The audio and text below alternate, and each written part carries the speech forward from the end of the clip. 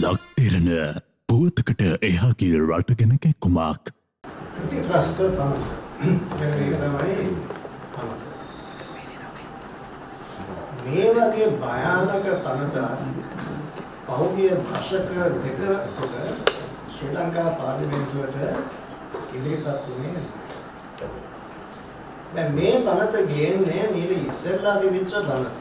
ත්‍රස්තවාදයේ වැළැක්වීමේ පනත අතිශයින් දරුණු පනතක් කියන පදනම මත. ඉස්සෙල්ලා තිබිච්ච පනතට මහා දැවැන්ත විරෝධයක් ඇති වුණා මේ රටේ පමණක් නෙවෙයි ජාත්‍යන්තර. එක්සත් ජාතීන්ගේ සංවිධානයේ මානව හිමිකම් කවුන්සිලය පැහැදිලිව ශ්‍රී ලංකා රජයට කිව්වා මේක වහාම ඉවත් කරගන්න. මේකෙන් මූලික මානව හිමිකම් වලට විශාල අගතියක් සිදු වෙනවා. මේක ජාත්‍යන්තර නීතියේ මූලික ප්‍රණීතීන්ට විරුද්ධයි, නීතියේ ස්වාධීනත්වයට විරුද්ධයි, පුද්ගල නිදහසක් මේ යටතේ කාටවත් දුක් විඳින්න පුළුවන් කමක් නැහැ. ඒ නිසා මේ පනත ශ්‍රී ලංකා නීති පද්ධතියෙන් බැහැර කරන්නේ කියලා බොහොම බලවත් ඉල්ලීමක්. විශාල බලපෑමක් දේශීය හා ජාත්‍යන්තර වශයෙන් තිබුණා. දැන් ආණ්ඩුව කියන්නේ ඒකට ප්‍රතිචාරයක් වශයෙන් කියලා මේ පනත කියනවා. හැබැයි මේ පනත අර පනතට වඩා අතිශයින් භයානකයි. කිසිසේත් මේ ප්‍රශ්නයට ප්‍රතිකර්මයක් නෙවෙයි. මම බොහොම සරලව පැහැදිලි කරලා දෙන්නම්. මේ පනත නිසා අපේ රටේ ජනතාව යම්කිසි ප්‍රජාතන්ත්‍රවාදී අයිතිවාසිකමක් භුක්ති විඳිනවා. අපේ සංස්කෘතියේ අපේ ජීවන රටාවේ අන්තර්ගත කොටසක් හැටියට ඒක අවසාන අවසාන තිත තමයි මේ රටේ ප්‍රජාතන්ත්‍රවාදී අයිතිවාසිකම් වලට සිද්ධ වෙන්නේ මේක නීතිගත කරපු දවසේ. දැන් අවසනාවටෙන් අපේ රටේ යම්කිසි සීතක් සම්ප්‍රදායක් මුල් බැසගෙන තිබෙනවා. වැඩ කරන ජනතාව එක්ක යම්කිසි ගැටුමක් අපේක්ෂා කරන සෑම අවස්ථාවකදීම රජය දක්වන ප්‍රතිචාරය තමයි අත්‍යවශ්‍ය සේවා නියෝගයක් නිකුත් කරනවා. අත්‍ය අත්‍යවශ්‍ය සේවා ලයිස්තුව දැන් යාර ගානක් දිගයි. හැම සතියෙම මොකක් හරි දෙයක් ඒකට එකතු වෙනවා. අත්‍යවශ්‍ය සේවා. දැන් අත්‍යවශ්‍ය සේවා නියෝගයක් උල්ලංඝනය කළොත් ඒක දරුවම් පැනවෙනවා. මොකද දරුවම් අනිවාර්ය නියම් නිවාර්ය යනවා. ඊට පස්සේ රස්සාව නැති වෙන අවදානමක් තියෙනවා. ඒ කියන්නේ ගෙදර අවුල නඩත්තු කරන්න පුළුවන් කමක් නැහැ. රස්සාවෙන් දොට්ට දාන්න. දැන් එහෙම වුණානේ කතරම් අමිහිරි අත්දැකීම් තියනවාද මේ සම්බන්ධයෙන් අපේ රටේ. මේ රටේ ජනතාවට අමතක වෙලා නැහැ මේ ජයජනාර්දන යුගයේ 80000ක් ඒ විදිහම දොට්ට දැම්මා. 80000ක් දොට්ට දැම්මා. 152ක් සිය දිවි නසා ගත්තා. කියන්නේ ජීවත් වෙන්න බෑ ඊළඟ ආහාර වේද හොයාගන්න බෑ. තමන්ගේ ළමයින්ට කන්න දෙන්න බෑ. 150 දෙන්නේ සිය දිවි හානි කරගත්තා. දැන් මේකට පස්සේ මේ ඊටත් වඩා අන්ත දක්වනවා. දැන් අත්‍යවශ්‍ය අත්‍යවශ්‍ය සේවා නම් කිරීම දැන් 아무තු දෙයක් නෙවෙයි. අත්‍යවශ්‍ය සේවාවක් උල්ලංඝනය කරපු අවස්ථාවකදී මේක සම්මත වුණායින් පස්සේ වෙන්නේ රස්සාව අහිමි වෙලා ගෙදර යන එක පමණක් නෙවෙයි. ත්‍රස්තවාදී කැටියද හමු අඩු ගන්නවා. ඒක අලුත් පින්මක්. ඊට ඉස්සෙල්ලා එහෙම දෙයක් උනේ නැහැ. මේ ප්‍රථම අවතාරය තමයි ත්‍රස්තවාදී කැටියට හඳුන්වලා රස්සාව අයිමි කරලා ගෙදර ගිහිල්ලා දරුවවලට කඩ දෙන්න බැරි තත්ත්වයක් පමණක් නෙමෙයි අවුරුදු 20 බන්ධනාගාරගත වෙනවා ත්‍රස්තවාදී කැටියට ත්‍රස්තවාදී ක්‍රියාවක් කරා කියන පදනම මත අවුරුදු 20 ඉරපත් ගන්න සිද්ධ වෙනවා. ඊට එහා මොනවාරි පොඩි ගයක් දොරක් තියෙනවා නම් ජීවිත කාලයම රස්සාව කළා සල්ලි ටිකක් ඉතුරු කරගෙන බැංකුවේ ගිණුමක් තියෙනවා නම් ඒක රාජ සන්ත කරනවා. ඒ පුද්ගලයන් ඊට පස්සේ ඒ මුදල් හෝ දේපල අයිති කරන්නේ නැහැ. මොනයින්ට ලියලා දෙන්න දෙයක් නැහැ. ඒ ඔක්කොම රාජ සන්ත. මේ ඔක්කොම සිද්ධ වෙනවා මේ පනත සම්මත කරනවා මේ පනතේ අන්තර්ගත වෙලා තිබෙන නිර්වචනය රසවාදී ක්‍රියාවක් කියන්නේ මොකක්ද කියන එක මේකේ විස්තර කරලා දීලා තියෙනවා. ඒ අනුව පවතින රජයට විරුද්ධව සංවිධානාත්මක මොකක් හරි වැඩ පිළිවෙලක්. ඒ කියන්නේ ඒක ප්‍රජාතන්ත්‍රයේ අයිතිය. අනුවේ ක්‍රියාමාර්ගයකට අපිට නම් ඔබට මට මොකටද අයිතියක් තියෙනවා. සංවිධානාත්මකව මේ රජයේ වැඩ පිළිවෙල විරුද්ධව මෙහි සිටිනවා. මේක සම්මත වුණයින් පස්සේ ඒක කළොත් ත්‍රස්තවාදී ක්‍රියාවක්. ත්‍රස්තවාදී ක්‍රියාවක්. ත්‍රස්තවාදී ක්‍රියාවක් කළා. ඉතින් දැන් මේක ඉතාමත් වැදගත් පැතිකඩක් තමයි ඔබතුමන්ලා මාධ්‍යවේදීන්ට මේක බලපාන විදිහ. දැන් පෙළපාලියක් තියෙනවා උද්ඝෝෂණයක් පෙළපාලිය පැත්තකට දාන්න අනුගුණ විරුද්ධව සංවිධානාත්මක සාකච්ඡාවක් වැඩ පිළිවෙලක් තියෙනවා. මේක සම්මත වෙච්ච දවසේ සිට ඔබතුමන්ලාට ඒ සම්බන්ධයෙන් වචනයක් ලියන්න බෑ. වචනයක් කියන්න. ඉන්දෝරිය පත්තරේ දැම්මොත් අදහසක් ප්‍රකාශ කළොත් ඒක සලකනවා මේ පනතේ හයවන වගන්තිය යටතේ ත්‍රස්තවාදී ක්‍රියාවකට ආධාර කිරීමක් හැටියට ආධාර කිරීම මේක සමාජ මාධ්‍ය වලටත් බලපාන ඒවා බෑ ඊට පස්සේ. කරොත් මොකද වෙන්නේ? මේ දේවල් දරුවෝ මොකද වෙන්නේ? අවුරුදු 15ක කොටවන්න ඉන්නේ? අවුරුදු 15ක ඉරියනවා මොනවද ඉතිරි කරගත් සල්ලි දිනනවා නම් පොඩි ගයක් දොරක් වේරි අරන් තියෙනවා. නම් ඒක එදාසින ඔබතුමන් දාන්නේ ඒකයි කියන්නේ ආන්න ඒක රාජ සම්පතයි ඒතකොට මාධ්‍ය නිදහසට අයත් වෙන ඉරණම අන්න ඒක.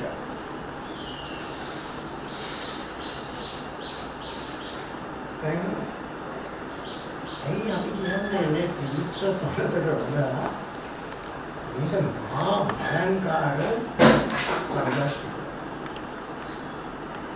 මේ රටේ අපි සියලු දෙනාම භුක්ති විඳින මූලික නිදහස්. නැකිලා විනාශ වෙලා යන්නේ ඩීஓ එකට. ඩීஓ කියන්නේ රැඳවීමේ නියම. රැඳවීමේ නියමයේ අතිශයින් විශේෂණයක්.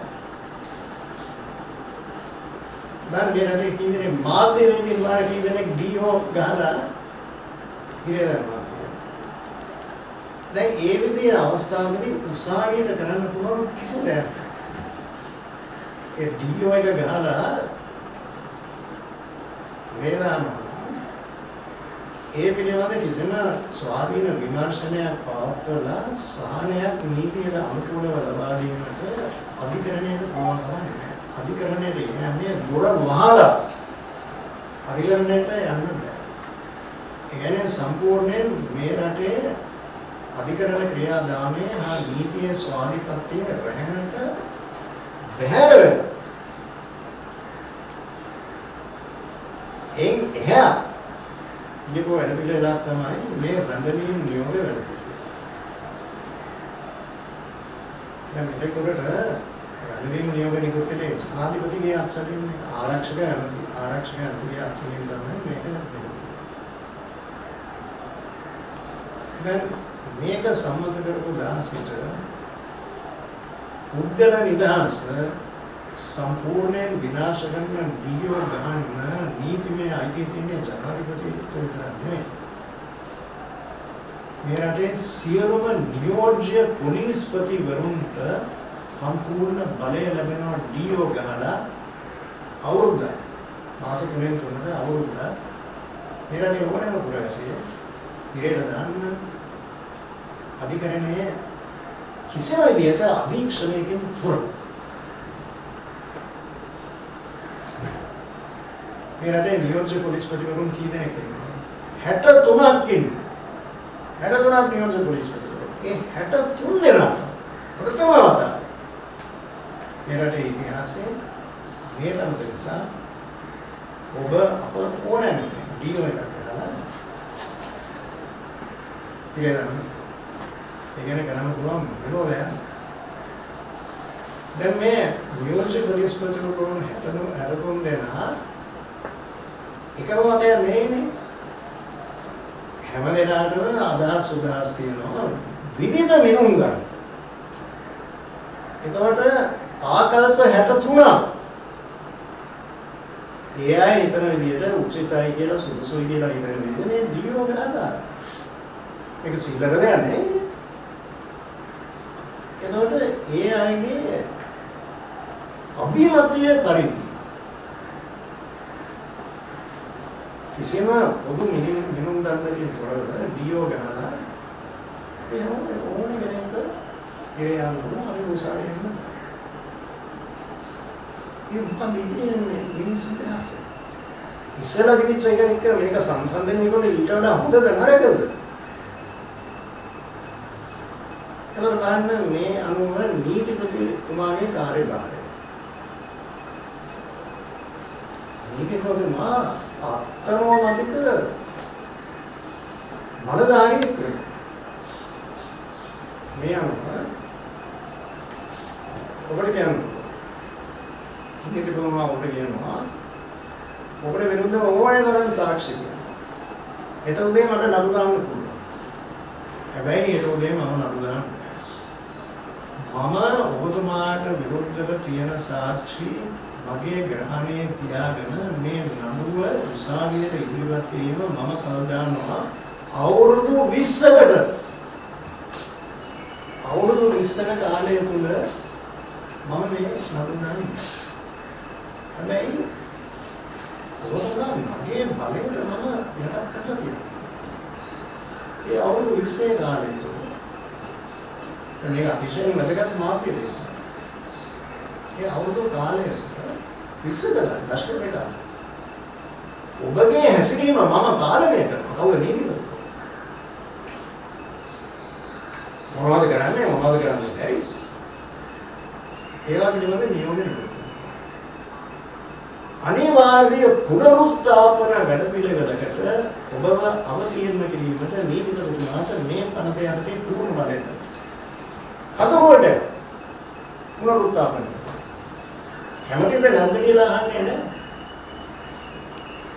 පුනරුත්ථාපන කඳුළු වලට යොමු කිරීමේ අසීමිත බලය.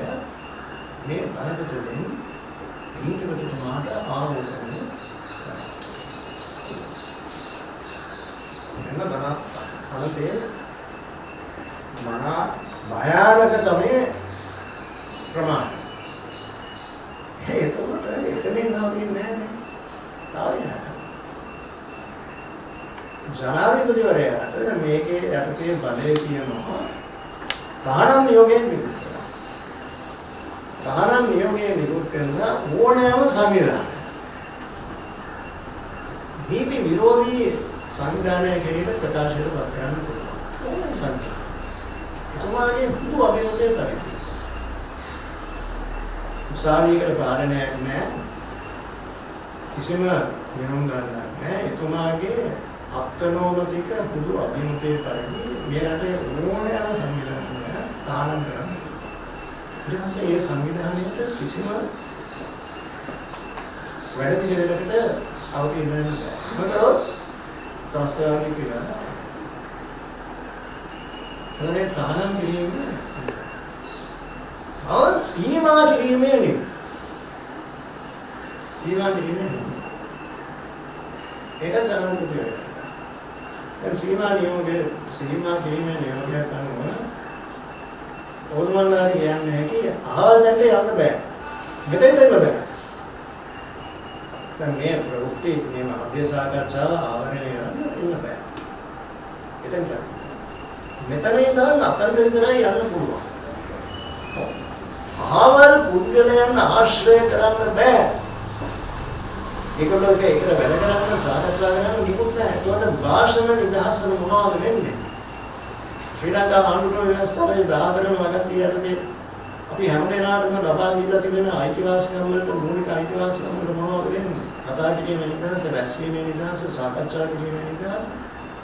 අවසාන තිත ඉවරයි. සීමා කිරීමේ නියෝගය. ඊපස්සේ උඩු සම්බන්ධ. අනුවිසට ඉරියන් සුන්දරන්න. මෙන්න මේ පනතේ ඵල විපාක. එතකොට වචනයකින් කියනවා නම් මේකෙන් නැති වෙන්නේ වෙන කිසිම දෙයක් නෙවෙයි රාජ්‍ය ත්‍රස්තවාදය. රාජ්‍ය ත්‍රස්තවාදයේ අංග සම්පූර්ණ ආකෘතියක් තමයි මේ පනත තුල අඩංගු වෙන්නේ.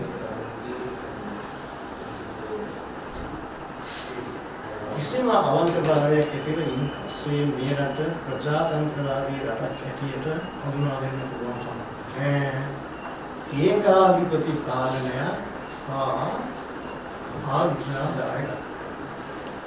ඒ ගැන කිසිම සැකයක් හිතේ ඇති කරගන්න. ඒක තමයි අතිශෝක්තියක් නෙවෙයි. ඒක තමයි ඇත්ත තත්ත්වය. දැන් ඇයි මෙහෙම මහා භයානක අනතක් ඉදිරිපත් කරන්නේ මේ රටේ? ජනතාවට බය නිසා. ජනතාව මර්ධනය කිරීමේ අරමුණ ජනතා අදහස් වලට ගරු කරන රජයක් නෙමෙයි. රජය ජනතාවට තිත්ත වෙලා තියෙන බව හොඳ හැටි දන්න රජයක්. ඇයි ඇයි නැත්තම් පළාත් පාලන ආයතන නැතිවෙන්නේ පවත්වන්නේ නැහැ. ඉස්සෙල්ලා නාට්‍ය නොවේ කිව්වා දැන් අපේ සිතා කිව්වා දැන් අද පත්‍රයේ තියෙනවා මේ විමල් පුංජේව නැතුණා විමම දැන් ආයි උත්සාහ කරනවා කියන මේ නැතිවෙන්නේ පවත්වනවා. ඉතින් ඒ කියන්නේ නැතිවෙන කොමිසම් සම්පූර්ණයෙන් බෙදීමේ කොමිසම් කියලා කියනවා මම ප්‍රසිද්ධියේ කියනවා මේ රටේ ස්වාධීන කොමිසම් නෑ. නැතිවෙන කොමිසම් ස්වාධීන නම් නැතිවෙන කොමිසම් දෙන්නේ නැතිවෙන පවත්වන්න නැතිවෙන පවත්වන්න ඉතින් ඒක කරගන්න බෑ. මැතිවරණ බෑ. ඇයි? මැතිවරණ වල ප්‍රතිඵලය මොකක්ද කියන එක රජය හොඳ හැටි දන්න නිසා ඒ කියන්නේ ජන මතයට අයන් ජීවත් වෙන්න රජය. දැන් බය වෙන්න හේතු තියෙනවානේ. මේ ජාත්‍යන්තර මූල්‍ය අරමුදලේ මේ සම්මතිය ක්‍රියාත්මක කරන්න පටන් ගත්තා. දවස් කිහිපයක් ඇතුළත මේ රටේ 87000කට වතුර කපලා දෙනවා. වතුර කියන්නේ මනුෂ්‍ය ජීවිතයේ අත්‍යවශ්‍ය දෙයක් වතුර නැතිව අපිට ජීවත් වෙන්න බෑ. 87000කට වතුර කපලා තියෙනවා. ඒ වතුර බිල් ගෙවන්න බැරි නිසා. එන්නේ අවම දෛනික අවශ්‍යතා මිනිස්සුන්ගෙන් පැහැර ආරම්භ තියෙනවා. ඒ ප්‍රමාණයේ දරිද්‍රතාවය වැඩි කරලා දැන් මිනිස්සු දිගු බවට පත් කරලා තියෙනවා. එතකොට මේ රටේ විදුලි බල බලය පරිභෝජනය දැනට මේ දවස් කිහිපෙන් 120 කියන අඩුවලා තියෙනවා. ලයිට් දාන්න බෑ ළමයාට කුටි ලාම්පුවකින් විස ලයිට් එකෙන් පාඩම් කරන්න බෑ 120 ලයිට් කැපිලා ලයිට් කවන් ලයිට් පාවිච්චි කරන්න බැරි නිසා ඇයි අඩුම ආදායම් ලාභීන්ට ලයිට් බිල 100 350කින් වැඩි වෙලා තියෙනවා. ඉතින් විදුලි බලය ගෙවන්න බෑ ආර්ථික ශක්තියක් නැහැ. ගෙවල් දොරවල් අන්ධකාරය. ඉතින් ඒ නිසා රජය හොඳ හැටි දන්නවා මහා දැවැන්ත විරෝධය උද්ගත වන බව. ඒ නිසා තමයි අපි දිගින් දිගට කිව්වේ පුන පුනා කිව්වේ මේවා කරන්න ඉස්සෙල්ලා ශක්තිමත් ආරක්ෂක දලක් පිටවන්න. ආරක්ෂක දලක් මේ රටේ අඩු ආදායම් ලාභීන්ගේ ආරක්ෂාව සඳහා. එහෙම කරා නම් මේ 80000 ලයිට් බිල් කැපෙන්නේ නැහැ, වතුර බිල් මේ මේ විදිහට වතුර පාවිච්චි කරන්න බැරි තත්ත්වයක් උදාවන්නේ නැහැ. හැබැයි ඒක කරේ නැහැ. මේ මේ මේ කරන දේවල් කරන්න ඉස්සෙල්ලා මිනිස්සුන්ට ජීවත් වෙන්න පුළුවන් තත්ත්වයක් ඇති කරන්න ඕනේ. ජීවමාන ඇටසැකිලි නෙමෙයි. එහෙම කරන්නේ නැහැ. ඒ කරන්නේ නැතිව තමයි මේවා ක්‍රියාත්මක කිරීම ආරම්භ වෙලා තියෙන්නේ. එතකොට ඉරහඳ වගේ පැහැදිලි ජනතාවගේ ප්‍රතිචාරය මොකක් වෙනවද කියලා. ඒ දන්න නිසා තමයි මේ රටේ කිසිම යුගයක නොදකපු විදිහ මහා පරිමාණයේ මර්ධනයකට රජය සූදානම් වන්නේ මර්ධනය. දැවැන්ත මර්ධනය. අන්න ඒ දැවැන්ත මර්ධනයට නීතිමය පසුබිම හා අඩිතාලම තමයි මේ යෝජිත පනතෙන් සකස් වෙන්නේ. ඒක තමයි මේ මේ පනතේ නියම හරය හා කරුණ. දැන් ආණ්ඩුව කියනවා හරි මොනවද? මේකට වගකීම ගන්නලු පාර්ලිමේන්තුවට. අප්‍රේල් මාසයේ අවසාන සතියේ පාර්ලිමේන්තුව රැස් වෙනකොට මේ වැඩපිළිවෙලට අනුමැතිය පාර්ලිමේන්තුවෙන් අපේක්ෂා කරන බව රජය කියනවා. මේක අනුමත කරනවා.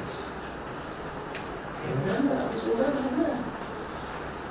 අපි කිසිසේත් මේකට හිස් චෙක් පතක් ලබා දෙන්න කොහෙත්ම අපි සූදානම් නැහැ. මේ වෙන්න යන මහා අද්විතීය විනාශය.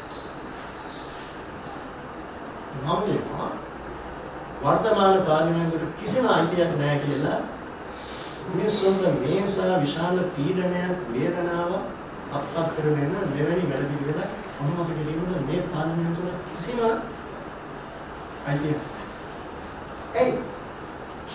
මේ පාර්ලිමේන්තුව පත් වුණේ 20යි 20 අගෝස්තු මාසයේ මොන වරමක් මතද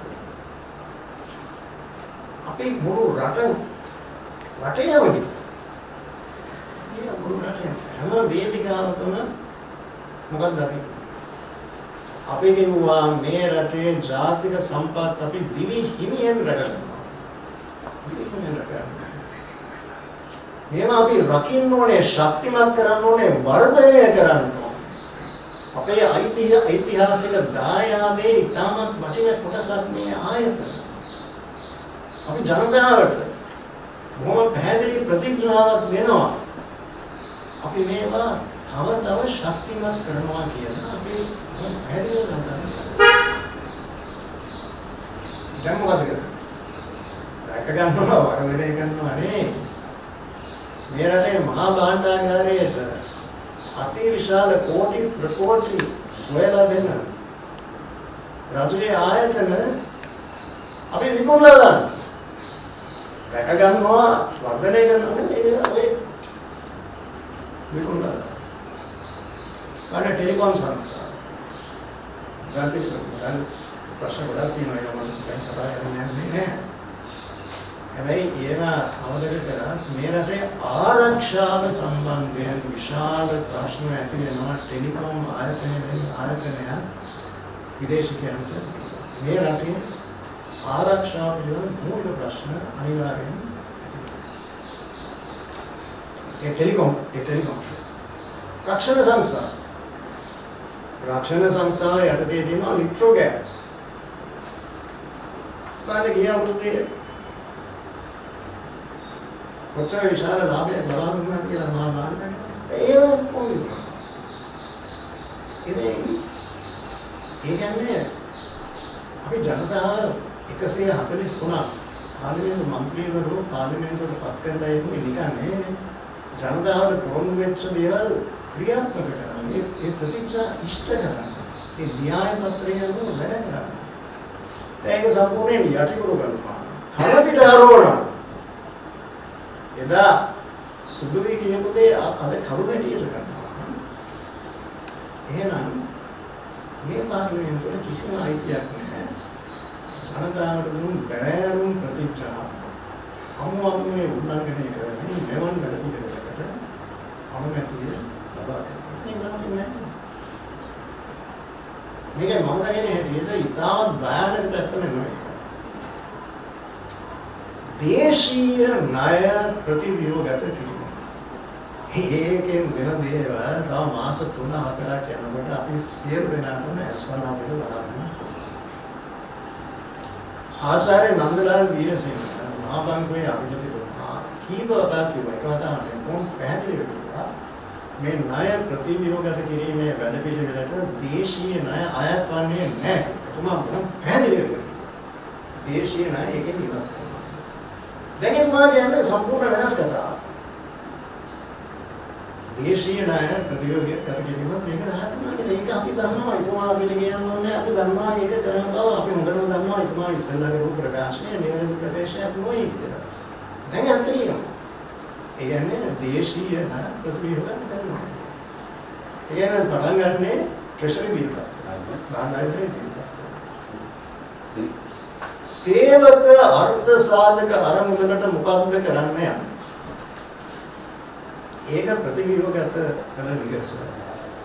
මේ රටේ වැඩ කරන ජනතාව තමන් විශ්‍රාම ගියන් පස්සේ තමන්ගේ ජීවිතයේ සන්ධ්‍යා කාලය අත්‍යවශ්‍ය දෙයක්. ආහාර බේතය සඳහා ඉතිරි කරගත් මුදල් වල අගය දලස් තුනෙන් එකකට වඩා අප්‍රමාණයි. මේ මුදල් වල අගය අඩුයි. මේකටද අපේ අනුමැතිය ඉල්ලන්නේ පාර්ලිමේන්තුවේ. කිසිම දෙයක් නැහැ. අපි ඒකට තරහින් විරෝධයි. එතකොට දේශීය ණය දැන් ඉස්සෙල්ලා දීපු පොරොන්දු වලට පටහැටි. දේශීය නී- දේශීය ණය ප්‍රතිවිරෝධ කරනවා. දේශීය බැංකු ඒ රටේ සහජ සම්පතක් වන දේශීය බැංකු වලට ඒකෙන් අති විශාල අගතියක් ඇති වෙනවා. ලංකා බැංකුව හා විශේෂයෙන් මහජන බැංකුව. ඒවට දරා ගන්න බැහැ. ඉතින් මේවා නෙමෙයි 20යි 20 අගෝස්තු මාසයේ ජනතාවට කිව්වේ. ඒවා ඔක්කොම මේ විදිහට වෙනස් කරනවා. එහෙනම් අලුත් වරමක් ලබා ගන්න ඕනේ. අලුත් වරමක් නැතිව ඉස්සෙල්ලා ලැබුණු වරමට හාත්පසින් පයින් ගහලා. ඒක සම්පූර්ණයෙන් කුණු කූඩේට දාලා ජනතාව අන්දලා මේ වැඩ පිළිවෙලට අනුමැතිය දෙන්න මේ පාර්ලිමේන්තුවේ කිසිම සදාචාරාත්මක අයිතියක් නැහැ. එහෙනම් කියනෝනේ අවල්කව ජනතාව අමෝට කියලා කියනවා. අපි දැන් වෙනස් විදිහට හිතන්නේ මේ කාරණා ගැන. අපේ ප්‍රතිපත්ති අපේ තීරණ සම්පූර්ණයි. අපි වෙනස් කරලා. එතකොට මේ අලුත් වැඩ පිළිවෙල ඉස්සෙල්ලා ජනතාවට දීපු පොරොන්දු වලට 100ක් පටහැනි ඒ වැඩ පිළිවෙලට ජනතාවගෙන් අලුත් වරමක් ලබා ගන්නවා. එහෙම නැත්නම් මේකට ඩිස්ට්‍රික්ට් පදක් දෙන්න කොහෙත්ම පුළුවන් කමක් නැහැ. එහෙනම් ජන වරමක් ඕන. නම් මොකද්ද ජන වරම ලබා ගන්නට හොඳට පාර්ලිමේන්තුව මැදදී දැන් ජනාධිපතිවරයාට සම්පූර්ණ අයිතිය තියෙනවා බලය තියෙනවා ආණ්ඩුවේ ව්‍යවස්ථාව යටතේ මේ පාර්ලිමේන්තුව උසරවන්න කළා ජනතාවට අවස්ථාව ලබා දීමට වර්තමාන ජනමතයේ 20යි 20 තිබෙච්ච ජනමතය නෙමෙයි වර්තමාන ජනමතය නියෝජනය කරන අභිනව පාර්ලිමේන්තුවක් පත් කර ගැනීමේ අයිතිය ජනතාවට ලබා දෙන්න. ඊපස්සේ ජනතාව කැමති නම් කරන්න. IMF එක මුදල් දෙන්නේ කාවත් කුම්බන්න හෝ රජයක් ශක්තිමත් කරන්න නෙමෙයි ජනතාවට සහන සපයන්න. මේ වැඩ පිළිවෙල අවුරුද්දකින් දෙකකින් ක්‍රියාත්මක කරලා අවසන් කරන්න බෑ අවුරුදු 10කටත් වඩා. ඉතින් එහෙනම් අලුත් පාර්ලිමේන්තුවක් තුළින් ඒ අනුමැතිය ලබා ගැනීම ඉතාමත් සුදුසු කියලා අපි විශ්වාස කරනවා. ඉතින් ඒක කරන්න ජනාධිපතිතුමා සූදානම් නැත්නම් එතන එතුමාට අභිමතයක් තියෙනවා. අභිමතයක් නැති නැතිවරණයක්. ඒ පළාත් පාලන ආයතන නැතිවරණේ ඒ ජනාධිපතිතුමාට අභිමතයක් නැහැ. මට ඕනනම් තියෙනවා මට සල්ලි හොයාගන්න පුළුවන් නම් තියෙනවා. ඒ කියන්නේ පස්සේ සරකාර වරනවා. එහෙම කියන්නයි කියන්නේ. පාලන ආයතන දැන් පළාත් පාලන ආයතන 339ක් අවශ්‍ය ඒ සිංහල මහජන නියෝජිතයන් කියද. ඒ ඔක්කොම පාලනය කරන්නේ ආණ්ඩුවේ විධායක ශාඛාව. එහෙම කරන්නේ නැහැ. ඒක අනුකූල වස්තාවට සම්පූර්ණයෙන් නැහැ. ඉතින් එහෙනම් ඒ නැතිවරණ එකක් තියෙනවා. ඒක අනිවාර්යයෙන් තියෙනවා. ඒක තියන්න. තිබිය යුතුයි. එතකොට ඒ තුලින් ජනතා මතය උරගා බැලීමේ අවකාශ ජනතා මතය උරගා මේ කරන දේවල් වලට කැමතිද? ලයික් කරනවා නම් වතුර ආසනවත් දාගෙන අහිමි වෙනවා. මේ වැඩ කරනවා. ඒ ජනතාවගේ ඒ අවකාශ ලබා ඒ අවකාශ ලබා නොදී මේ වැඩ පිළිවෙල පාර්ලිමේන්තුව හරහා අනුමත කර ගැනීමට දරන මේ ප්‍රයත්නය කිසියත් සාර්ථක වෙන්න අපි ඉඩ තියන අපි ඒකට සම්පූර්ණයෙන් වෙනවා. එහෙම කරොත් සේකම් වඩා වැදගත් සම්මුතිය අපි උල්ලංඝනය කරනවා. IMF සම්මුතියට වඩා වැදගත් සම්මුතියක්.